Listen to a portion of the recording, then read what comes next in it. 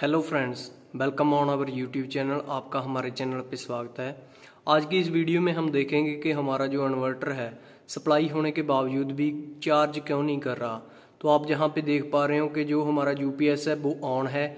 लेकिन पीछे से सप्लाई आ रही है, पर ये चार्ज नहीं कर रहा और ये यूपीएस वर्क कर रहा है।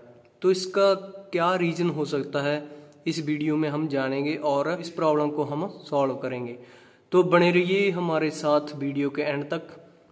तो चलिए स्टार्ट करते हैं वीडियो। जिन्होंने भी अभी तक मेरा चैनल सब्सक्राइब नहीं किया तो प्लीज़ सब्सक्राइब कर लें। नोटिफिकेशन की बेल को भी प्रेस कर दें, ताकि जब भी हम कोई इन्फॉर्मेटिव वीडियो डालें, आपको तुरंत नोटिफिकेशन चला जाए। तो इसके कई कारण हो सकते हैं। सबसे पहला कारण तो इसको फ़ेज़ नहीं मिल रहा। यहाँ से हमने चार्जिंग प्लग लगाया है, वहाँ से इसको फ़ेज़ नहीं मिल रहा। तभी इसको इन्वर्टर को लगता है कि पीछे से सप्लाई नहीं आ रही और ये अपना काम करने लग गया। तो दूसरा रीज़न हो सकता है कि जो इसका चार्जिंग फ्यूज़ है, वो उड़ चुका है। या तीसरा कारण वो हो सकता है कि जो पीछे एम बॉक्स लगा हुआ है, यहाँ से इस इन्वर्टर को चार्ज करने के लिए सप्लाई आती है, वो एम ट्रिप हो चुका है। इसके तीन मेन रीज़न हो सकते हैं। तो सबसे पहले रीज़न हम देखते हैं कि इसका फ्यूज़ सही है या नहीं है। तो आपने क्या करना है सबसे पहले? इसका जो चार्जिंग वाला फ्यूज़ है, वो चेक करना है कि वो सही है या नहीं। तो जहाँ पर दो फ्यूज़ हैं, एक तो मेन फ्यूज़ है, दूसरा इसका वो चार्जिंग वाला फ्यूज़ है। यहाँ पे जो नीचे वाला है, ये चार्जिंग फ्यूज़ है, जहाँ से आप देख पा रहे हो, ये है चार्जिंग फ्यूज़ तो आपने इसको बड़े ही ध्यान से निकालना है, क्योंकि जहाँ पर 220 वोल्ट आती है तो ये आपको झटका भी मार सकता है। तो आपने पूरे ही ध्यान से इसको खोलना है। सबसे पहले आपने सप्लाई बंद कर लेनी है, उसके बाद खोलना है।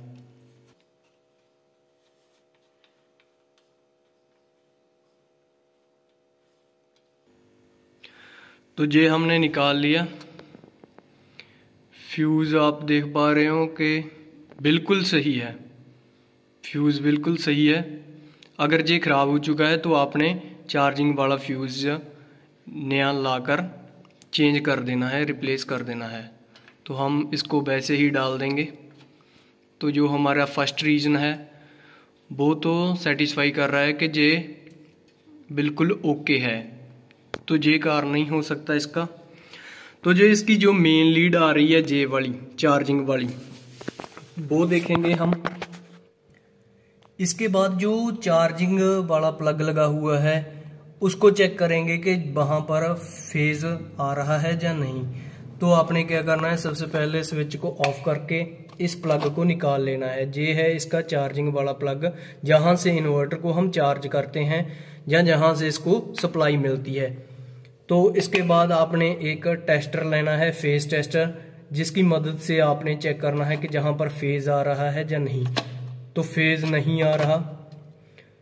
इसका मेन रीजन यही है कि पीछे से इसको फ़ेज़ नहीं मिल रहा लाइन नहीं मिल रही। तो आपने इसका रीजन ढूंढना है कि क्यों नहीं जहाँ पर फ़ेज़ आ रहा। कई बार जो आपका ये प्लग होता है, वो जल जाता है, क्योंकि कई बार लोड ज़्यादा हो, होने के कारण पंखों का लोड ज़्यादा होता है तो सारी सप्लाई जो पंखों की इन्वर्टर पे की होती है उसका लोड यहीं से जाता है। कई बार जहाँ पर सिक्स एम्पेयर का प्लग डाल दिया जाता है, लेकिन लोड टेन एम्पेयर से भी ज़्यादा होता है तो इस प्लग का जलना भी पॉसिबल है, अगर छोटा लगा हुआ है। तो अब हम देखते हैं कि फ़ेज़ क्यों नहीं आ रहा। तो तीसरा रीजन है जो, वो था एम का, कि जो एम है, वो ट्रिप हो चुका है, तभी हमारा फ़ेज़ नहीं आ रहा। तो हम एमसीबी बॉक्स के पास चलते हैं।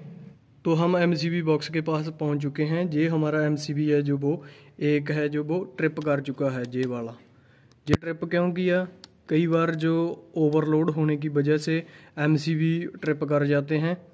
और जहाँ कई बार शॉर्ट सर्किट होता है, तभी एमसीबी ट्रिप करते हैं। दो ही रीज़न होते हैं इनके ट्रिप करने के। तो हम इसको ऑन करते हैं।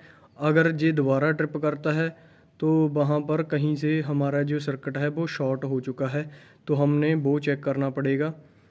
तो हम इसको ऑन करते हैं। अगर जे ऑन होने के बाद ऑफ़ नहीं होता तो हमारा जो सारा सर्किट है वो ठीक है। कई बार ओवरलोड होने की वजह से ये ट्रिप कर जाते हैं। तो इसको ऑन करेंगे।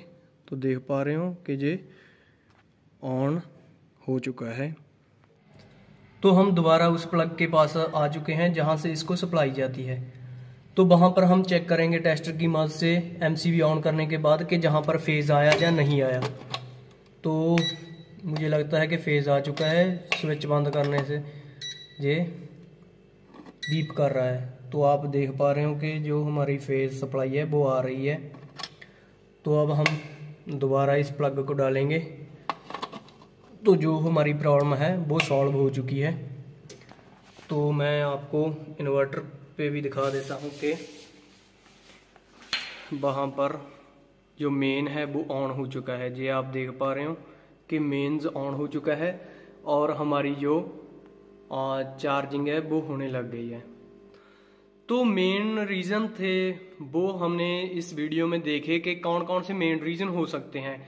तो सबसे पहले आपने क्या करना है? चार्जिंग वाला फ्यूज़ देखना है। उसके बाद अगर चार्जिंग फ्यूज़ सही है तो आपने जो चार्जिंग वाला प्लग है या सॉकेट है, उसको चेक करना है कि वहाँ पर जो फ़ेज़ सप्लाई आ रही है या नहीं आ रही।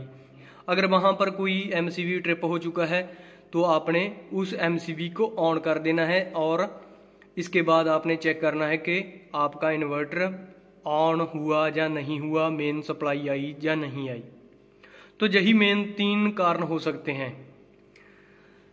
वीडियो देखने के लिए आपका बहुत बहुत धन्यवाद आगे वीडियोस देखने के लिए हमारा चैनल करें सब्सक्राइब अगर आपको ये वीडियो अच्छी लगी तो प्लीज़ लाइक का बटन दबा देना जिससे हमें मोटिवेशन मिलती है और हम आगे भी और वीडियोस लेकर आएँगे ताकि आपकी नॉलेज में इजाफा हो सके तो मिलते हैं किसी और वीडियो में तब तक के लिए रब रखा।